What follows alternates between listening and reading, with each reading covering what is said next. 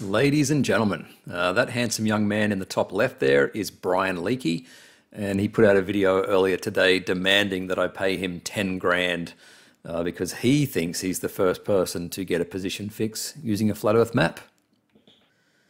All right, for those of you who have no idea what I'm talking about, uh, well, McToon put out a challenge well over two years ago offering 10,000 US dollars for anyone that could present a method for using the principles of celestial navigation on a flat Earth and getting an accurate position fix.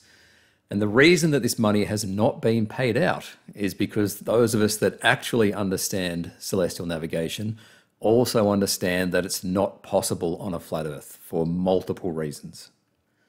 But uh, Brian is a little unhappy about this challenge uh, because McToon is apparently not allowing Flurfs to use the only map that Flurfs have ever seriously put forward as a map of the Earth, uh, and it's this one, the azimuthal equidistant map. And I've gone on record plenty of times saying that if you can use this map to get a position fix, then I will argue tooth and nail with McToon that he should accept the solution. Uh, but in Discord the other day with Brian, I went a step further and said that if he can do McToon's challenge on the AE map, then I will give him the 10k. So, Brian published a video a few days ago uh, with his solution. Uh, now, these GPs are entirely made up, uh, but that's fine. He's just demonstrating the method. And his method was to use a website called ns6t.net uh, that allows you to create an AE map centered on the GP of each star. And each map has a given radius, uh, which corresponds to the circle of equal altitude. And when he combines all three of these maps, uh, you'll see that they share a common point around Quito, Ecuador. And that was the position fix in Brian's hypothetical. Uh, but the big question is did Brian use the globe? And to answer that, you actually need to understand what we're really asking you to do when we say draw three circles of equal altitude on a map. Because what we're really asking is what are the coordinates for all the points that make up this circle? So, for example, uh, and these again are completely made up numbers, uh, we've got the GP of the star at 42 north, 121 west, and we want to know what are the coordinates of the point that is, for example, 1500 nautical miles away at an azimuth of 37 degrees. Or, more fully, what are the coordinates for all the points that are 1500 nautical miles away in every direction? Uh, but just for this example, we're going to find the coordinates of one point uh, at an azimuth of 37 degrees. And that means we need to do some geometry. Yay! Uh, so this is the AE map, and what I've done is rotate it such that it's aligned on the longitude of the GP, uh, which was 121 west. Uh, the latitude of the GP is 42 degrees north. Uh, so assuming a 60 nautical miles per degree scale, uh, then the GP is 2,880 nautical miles from the North Pole. And then we draw a line that is 1500 nautical miles long at an azimuth of 37 degrees. And what we want to find are the coordinates for the point at the end of that red line. Uh, so how do we do that? Well, we can actually make a triangle here. Uh, and since we've got two sides and the angle between them, uh, we can solve this triangle using the law of cosines to get the length of the third side. Uh, and that length, of course, is the distance from the North Pole. So here's the law of cosines, and if we plug in all the values, we end up with a distance for that third side of 1,909 nautical miles. And if we use the rule of 60 nautical miles per degree, we can work out the latitude of our mystery point to be 58.18 degrees north. Uh, but what about its longitude? Right, so now we use the law of sines to work out that angle uh, between the green line and the third side. And that works out to be 28.22 degrees, uh, which is the change in longitude from the GP. So subtract that from the longitude of the GP and we get 92.78 degrees for the longitude of our mystery point on the circle of equal altitude. So, just to recap, uh, we've got the GP of the star, and we want to know the coordinates of all the points that are 1500 nautical miles away. Uh, but for this example, we've just chosen an azimuth at random, 37 degrees, and the coordinates of that point work out to be 58.18 degrees north, 92.78 degrees west. But what if we use the globe map? Uh, well, in that case, we'll be using the Haversine formula, uh, now, I'm not going to waste anyone's time deriving the Haversine formula. Uh, if you're really interested, you can just Google it. Uh, so all I've done here is write some very quick Python code, uh, plug in the GP of 42 north, 121 west, uh, and I ask what the coordinates are of the point that is 1500 nautical miles away at an azimuth of 37 degrees.